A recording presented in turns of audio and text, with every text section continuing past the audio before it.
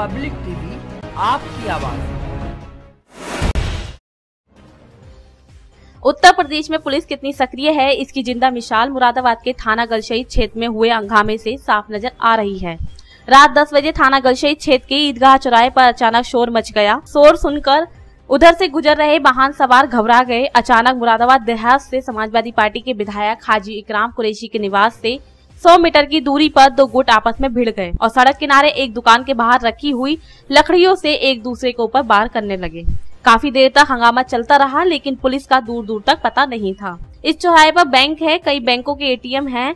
पास में ही ईदगाह है, लाजपत नगर जैसी पौष कॉलोनी है। इसके बाद भी सुरक्षा व्यवस्था के नाम पर यहाँ एक भी पुलिसकर्मी मौजूद नहीं था। चौराहे पर भगदड़ मची रही। लोग देर रात तक खुलने वाले मेडिकल स्टोर बंद कर भागने लगे, लेकिन हंगामा कर रहे युवकों के ऊपर किसी का कोई खौफ नहीं था। थाना गशई क्षेत्र के सात नाम के युवक के भाई के साथ कुछ लड़कों ने मारपीट की थी। साथ के मुताबिक वो उनके घर पर शिकायत करने आया था, लेकिन यहाँ आरोप पक्ष के साथ और उसके साथ आए युवकों को बुरी तरह से घेर कर पीटा और गंभीर रूप से घायल कर दिया। सात को लहूलुहान हालत में लोग थाना लेकर पहुँच गए। पुलिस अब इस मामले में तहरीर मिलने पर कार्रवाई की बात बोल रही है। लेकिन बीच सड़क पर इतनी देर तक हंगामा होता रहा और मारपीट होती रही, लेकिन हर वक्त गश्त करने वाली डायल सो की टीम या ईगल मोबाइल सहित थाना गलशहीद की कोई भी पुलिस टीम मौके पर मौजूद नहीं थी।